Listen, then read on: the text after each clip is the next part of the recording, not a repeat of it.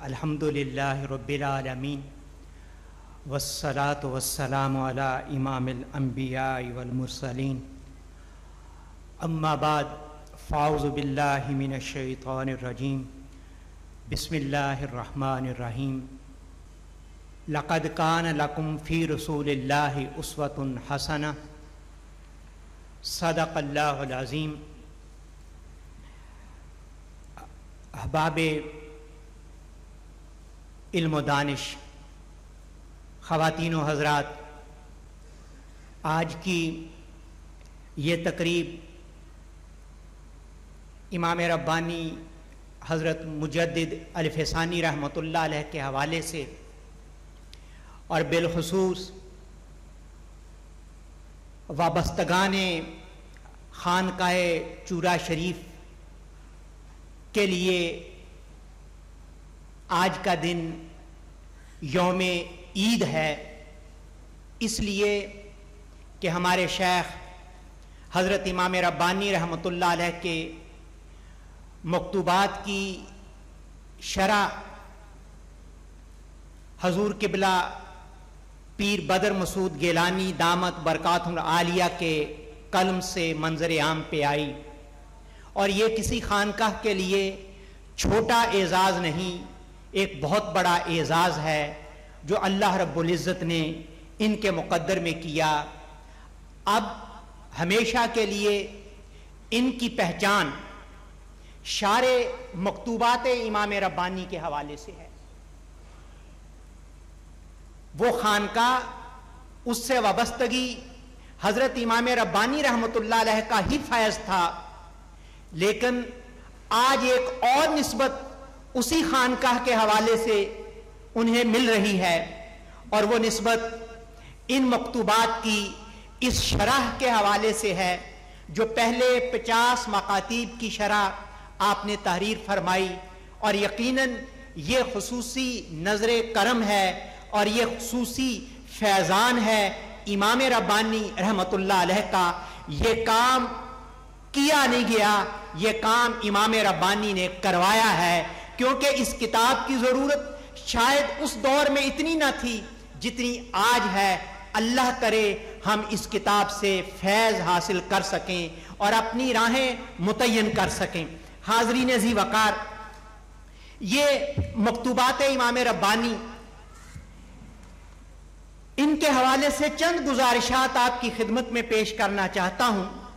کیا یہ مکتوبات دو افراد کے درمیان خط و خطابت ہے۔ کیا یہ پیر اور مرید کا باہمی رابطہ ہے؟ کیا یہ آج کی اصطلاح میں واٹس ایپ کے میسجز کی حیثیت رکھتے ہیں؟ کیا یہ باہمی دلچسپی کے امور پر دو افراد کا تبادلہ خیال ہے؟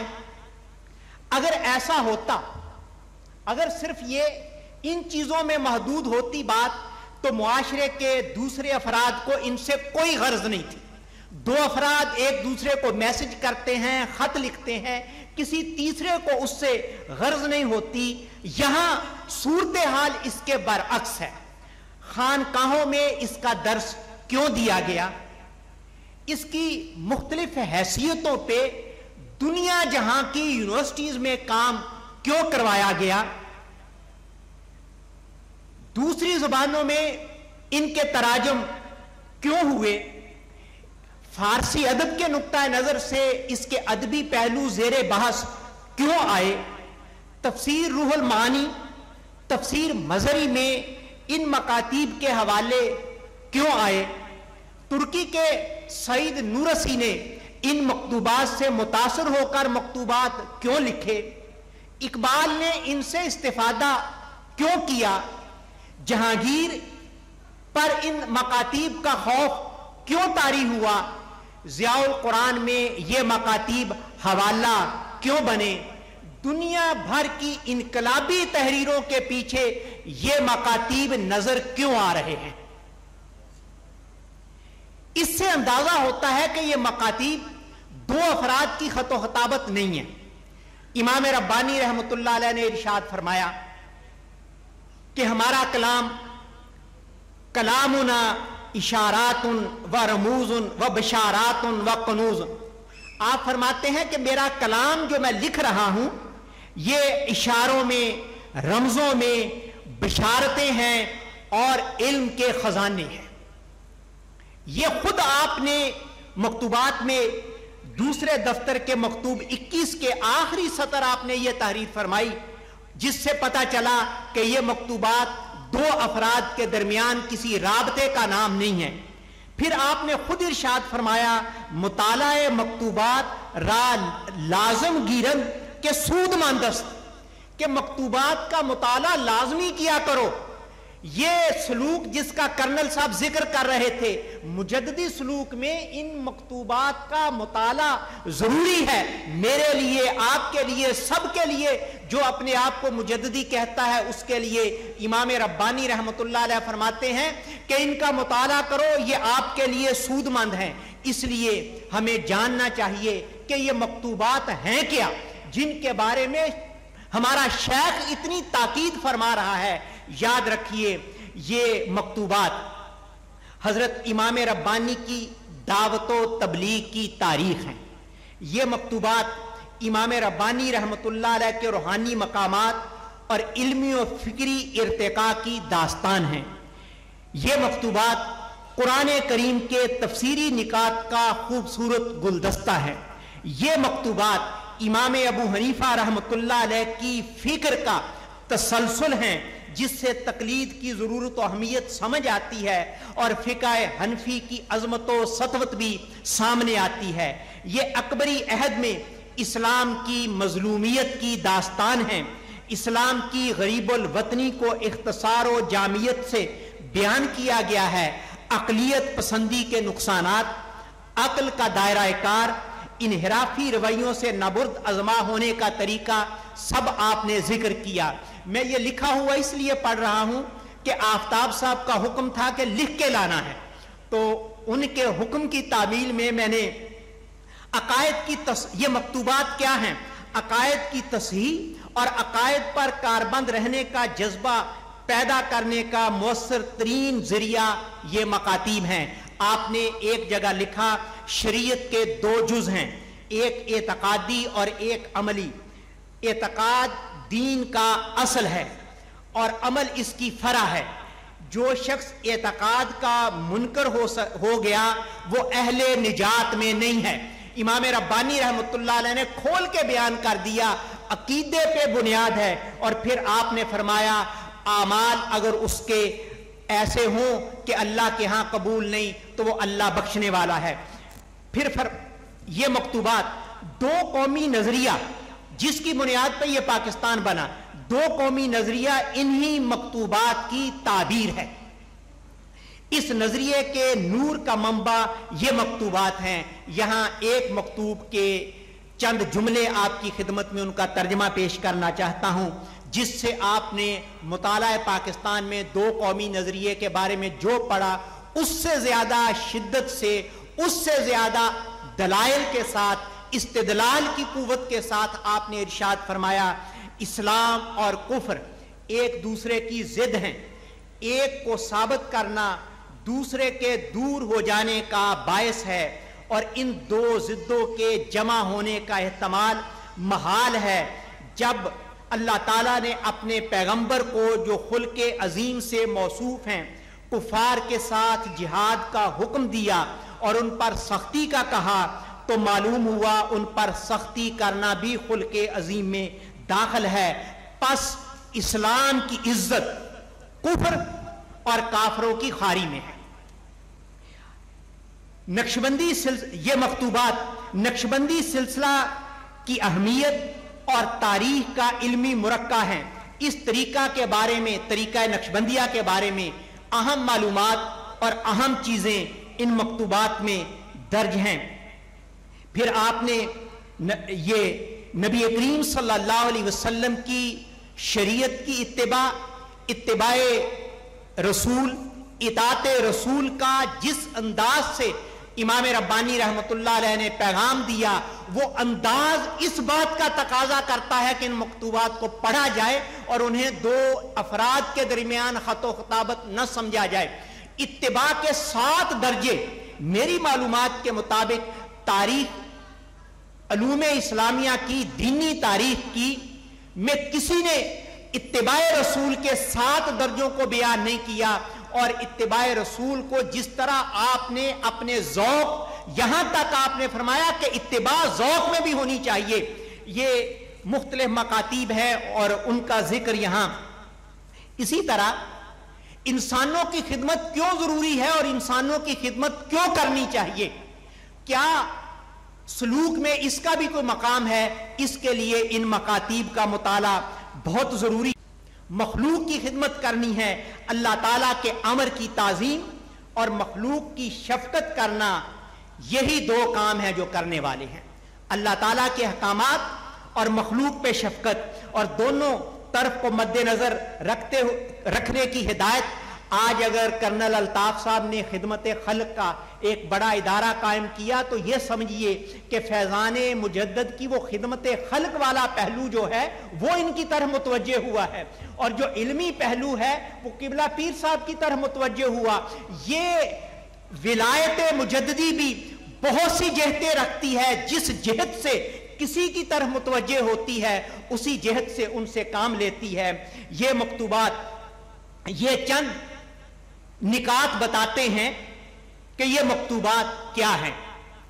کیونکہ یہ مکتوبات دینی تاریخ، فکری ورثہ، دعوتی جد و جہد ادبی نقطۂ نظر، تصوف کی روشن تصویر اس لیے ضروری ہے کہ ان کو سمجھا جائے، ان کو پڑھا جائے۔ عہد مجدد میں بھی لوگ غلط فہمیوں کا شکار ہوئے، آپ نے ان کے جواب دیے۔ خواجہ معصوم اور خواجہ سعید نے ان مکتوبات کے مشکل مقامات کو حل کیا۔ نقشبندی صوفیہ نے شاہ غلام علی دہلوی رحمۃ اللہ علیہ نے پنتالیس سال مکتوبات کا درس دیا اور وہ مثال کے ذریعے سمجھاتے تھے۔ اتنا بڑا شیخ وہ فرماتے تھے کہ ان مکتوبات کو سمجھنے میں میری حیثیت ایسے ہے جیسے کوئی قرآن کریم کی ہر سطر پہ انگلی پھیرتے ہوئے کہتا جائے کہ یہ اللہ کا کلام ہے، اس سے زیادہ انسان اس کی حقیقت کو نہیں جان سکتا۔ وہ صرف مثال دے رہے ہیں، اس سے زیادہ کچھ نہیں۔ اور وہ کہتے ہیں، ان مکتوبات کو سمجھنے میں بھی ہماری حیثیت یہی ہے۔ اس لیے ضروری ہے کہ ان مکتوبات کی شرح کی جائے۔ کیونکہ بلکہ نصر اللہ ہوتکی جو افغانستان میں افغانستان کا جو ذہنی اور فکری انقلاب ہے، ان کے پیچھے مکتوبات ہیں۔ دنیا میں جہاں بھی ذہنی اور فکری انقلاب آئے گا، وہ مکتوبات کے مطالعہ کے بغیر نہیں آئے گا۔ اسی لیے نصر اللہ ہوتکی نے ان مشکل مقامات کی وجہ سے فرمایا تھا اور ان کی شرح موجود ہے۔ وہ لکھتے ہیں کہ اکثر دانش مندان جہاں در حل آن آجز شد۔ کہ دنیا کے اکثر عقل مند لوگ جو ہیں، مکتوبات کے مشکل مقامات کو حل نہیں کر سکتے۔ آپ خوش قسمت ہیں کہ آپ کی خانقاہ کے مرشد نے آپ کے لیے ان کو حل کر کے آپ کی خدمت میں پیش کر دیا۔ اب ان سے فائدہ نہ اٹھانا، یہ آپ میں کمی اور آپ کی کوتاہی ہوگی۔